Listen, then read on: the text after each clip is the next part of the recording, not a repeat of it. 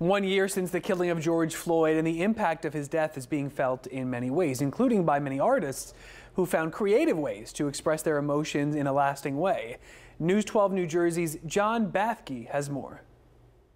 Artist Lorenzo Pickett has created many portraits, but the one he painted of George Floyd came from his soul, he says.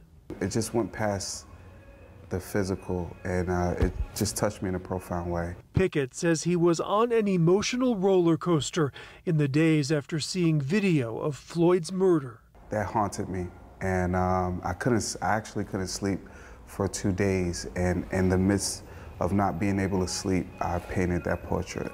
He's not alone. The emotional response by artists is still visible one year later in public art and in galleries where exhibits themed on social justice have gone up in recent months. That's one of the processes that I do.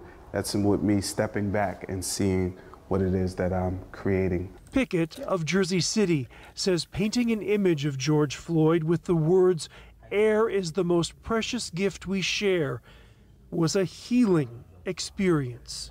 I wouldn't consider myself an artist if I didn't help articulate George Floyd's story, if I didn't participate in what was going on. What do you hope people get from this painting? What do you hope they feel from it when they see it? I hope that they feel compassion um, and empathy for another human being. Yeah. Just thinking about it makes me emotional. One year later, the emotions that poured onto the canvas are still palpable.